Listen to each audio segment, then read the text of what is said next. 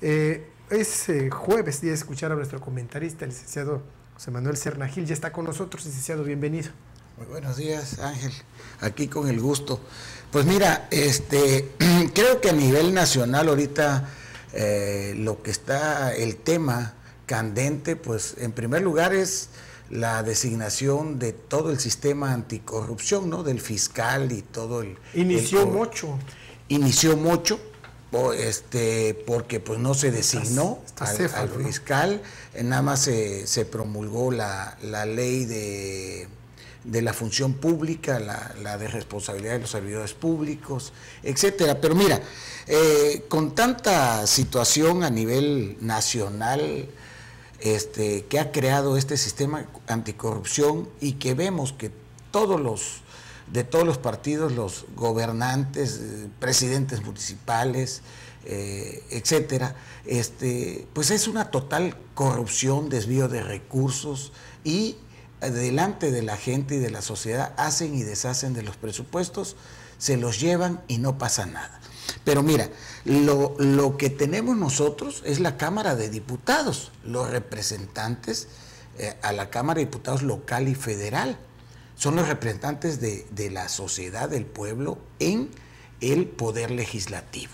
Aparte de hacer las leyes, son los que fiscalizan los recursos federales, estatales y municipales. Entonces, y está el órgano superior de fiscalización de cada uno de los estados y el órgano superior de fiscalización del Congreso Federal, ¿no? Entonces, si los diputados asumieran la función y no fuera una herramienta política que se debe de dejar de utilizar en una herramienta política y de reparto de, los partidos políticos, de, sus ínsulas de poder, de representación, porque ya ves que el INE a nivel nacional se desvirtuó precisamente por la por la cuota de cada partido político. Ya no, ahorita, es, ya no es ciudadano al 100%, bueno, bueno ha sido. Sí estuvo una época ciudadana muy importante en la en las elección después de la de Salinas, ¿no? Este, estuvo una ciudadanización precisamente cuando fue gobernador Eliseo Núñez estuvo una época que tuvo una credibilidad muy alta el instituto y cuando estuvo Emilio Chaufet, que fueron los primeros que, que, llevaron a cabo eh, eh, esa, esa autonomía. Fue el momento de la, de la separación porque antes estaba en manos de la Secretaría de, de Gobernación. y se erigía en colegio electoral la Cámara de Diputados y aprobaba las elecciones. Los mismos que, eran electos son los que aprobaban la elección, ¿no? Era totalmente una incongruencia, ¿no? parte juez y parte. Entonces, yo creo que, los diputados de cada entidad han, mm, a través de toda la historia, han dejado mucho que desear en cuanto al posicionamiento de los alcaldes. Actualmente, hasta la fecha, aquí en la Cámara de Diputados, hay muchos alcaldes que tienen reprobadas las cuentas y no ha habido ejercicio de la acción penal en relación a ese desvío de recursos. Entonces, ¿Para qué necesitamos mayor, mayor legislación?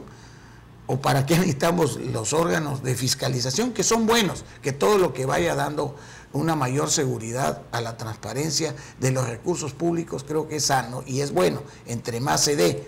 Pero tenemos de inicio las cámaras de diputados locales y la federal que tienen una función muy importante de fiscalizar los recursos y aprobar los recursos. Ya no es necesario, considera usted, más órganos como este ente nuevo que, se aprobó, entró en función ayer el sistema anticorrupción, sino lo que propone es que realmente funcionen los, las autoridades, las instancias que están realmente, eh, que funcionen realmente y que están vigentes y que no lo hacen. Exactamente, es que hay una sobrelegislación de cosas crear más burocracia. Crear más burocracia, porque realmente la Cámara de Diputados aprueban y reprueban las cuentas del Ejecutivo, del Legislativo, del Judicial y de los ayuntamientos. Y también aprueban los presupuestos de los tres poderes y de los, y de los municipios. Entonces yo creo que nada más hay que cumplir con la función que tienen los diputados y precisamente en el 2018 tienen que ver la ciudadanía y los partidos políticos eh, cuáles son los ciudadanos que van a elegir, porque deben de tener un perfil de representatividad, porque es una gran responsabilidad en estos tiempos ser diputado eh, eh, en la Cámara local y la federal, ¿no? Creo que, eso tenemos que desmenuzárselo a la gente porque realmente los diputados no son no son casas de gestión social de la Sede Sol ni de nada, porque en eso se han convertido, en estar gestionando medicinas para la gente, pasajes de autobús. Pero la gente lo busca. Por eso, lo busca porque se ha desvirtuado esa función. Lo peor del caso es que si se hace ya de manera natural y si va y toca la puerta y no hay nadie, dice, ah, se olvidó de nosotros, no está chambeando. Claro, bueno, se puede hacer esa función porque también para eso es el diputado. Pero bueno. También tienen una partida para eso. Claro, tienen una partida que la, ya la crearon para esa función y para promoverse, para seguir de diputado a presidente municipal y de ahí a gobernador y, y no sé qué tantas cosas se les puede ocurrir en la mente a algunos funcionarios que luego tienen demencia de cuando tienen sus puestos, ¿verdad? Este, este, ya se olvidaron. ya, una, partida de doble propósito. De doble propósito. Como en la ganadería, ¿no? Así es. Entonces, eh, eh, ves que con gran cinismo se pasean y, este, y no cumplieron ni con la función anterior o están en la función y ya quieren saltar a otro puesto, ¿no?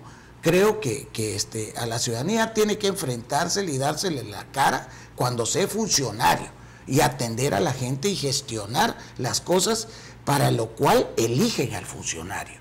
Creo que esa es una de las funciones del diputado, del presidente municipal, del gobernador y de los funcionarios públicos que acompañan al cabildo y a la administración eh, este, estatal. ¿no? ¿No confusión esta sobre legislación de la que hablaba usted? Por ejemplo, están los órganos fiscalizadores, los propios diputados, aunque sí está más acotado uno y el otro.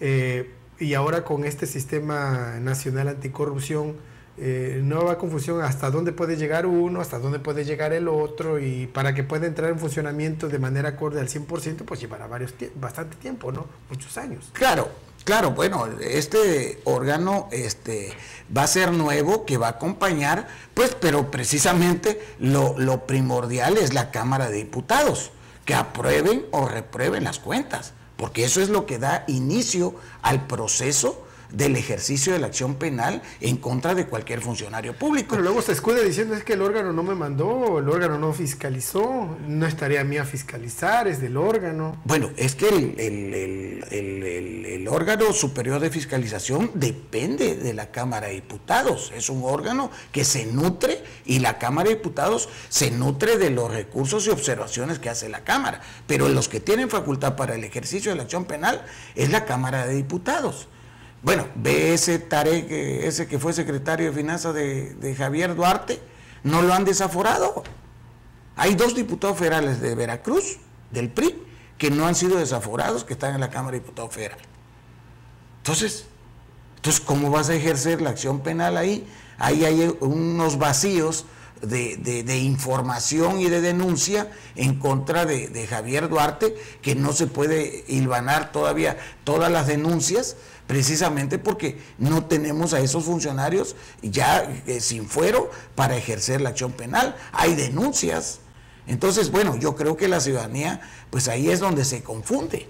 O sea, pero el órgano rector de la, de la fiscalización es las cámaras de diputados locales y las federales. Y en ese sentido, a nivel nacional, todas las cámaras han, han, dejado mucho que desear y los diputados que han pasado por ahí también porque se han partidizado y ha sido un órgano más de, fiscalización y de aprobación de los recursos de manera transparente, ha sido un órgano de, de maquillar y de ejercer a modo de acuerdo a los partidos y a los intereses de los partidos políticos que creo que eso es lo que se debe de abandonar y ejercer una situación porque el voto lo dan los ciudadanos de diferentes partidos políticos en favor de una gente que es elegida por un partido porque pues ese es eh, eh, eh, el canal para poder ser electo, ¿no? Pero ahorita cuenta mucho la, la candidatura de la persona, ¿no? y la hoja de vida de la persona, ¿no? Yo creo que eso va a contar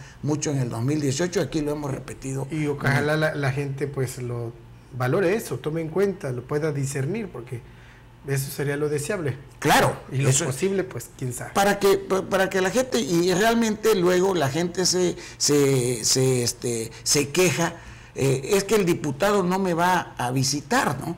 Pues es que el diputado no te va a visitar porque ya te pagó por tu voto.